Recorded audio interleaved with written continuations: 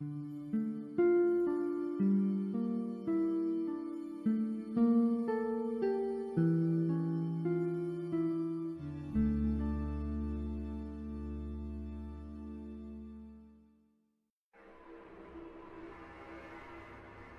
St. Petersburg, Pinellas County, Florida, lies between the Gulf of Mexico and Tampa Bay.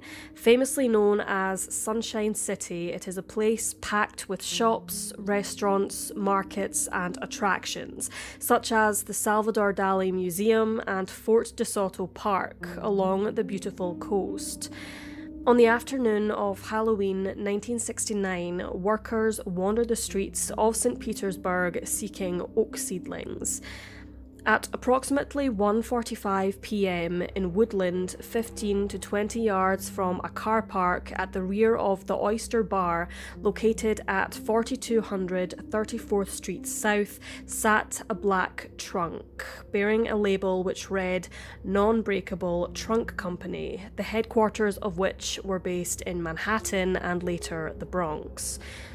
Curious, one of the park department's employees attempted to open the trunk but found it was locked. He contacted police who managed to open the trunk, and what lay inside sent chills down their spines. The decomposing body of a woman was wrapped in plastic, sealed with masking tape. Police confirmed that the female was a homicide victim who had suffered blunt force trauma to the head and had been strangled by a 20 inch long red or maroon bolo tie, which had been wrapped around the neck at least twice. Her estimated date of death was between two to three days prior to being discovered, and the official cause of death was manual strangulation by ligature. Jane Doe was a Caucasian female with her age estimated to have been between 25 to 35. She stood at 5 feet 9 inches tall and weighed 130 pounds. Her eyes were brown and her hair, which was dark brown and approximately 8 to 10 inches long, was pinned up with several hair rollers.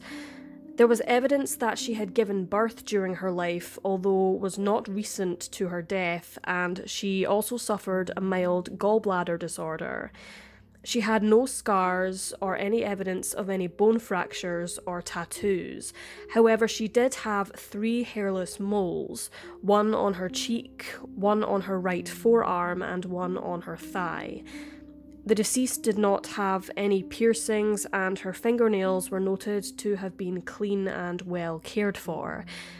Investigating her teeth, it was found that the unidentified woman had crowding and four teeth missing. She possessed a partial upper front dental plate covering four front teeth and two side teeth. All four of her wisdom teeth had been surgically removed, and it was stated she had poor oral hygiene, which suggested that she was possibly from a working class background. Found on the body was a pale green slip on pyjama top with a floral design and lace around the collar. No more clothes, shoes, or jewellery were recovered, however, the woman's ring finger showed signs of a ring impression. Isotope tests were conducted, and it was concluded that the woman in the trunk, as she came to be known, was not a Florida native and had been born in the southeast of the United States and spent later years of her life in northern areas of the southeast.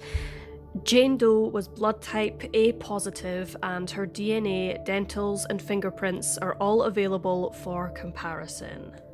Following the news of the woman's discovery, police received over 50 phone calls from people who believed they knew the deceased, but all tips turned out to be unrelated to Jane Doe. Many people were interviewed, and authorities checked with various luggage manufacturers in order to find out where the trunk was purchased from and shared case details with the FBI, but unfortunately, few answers were found.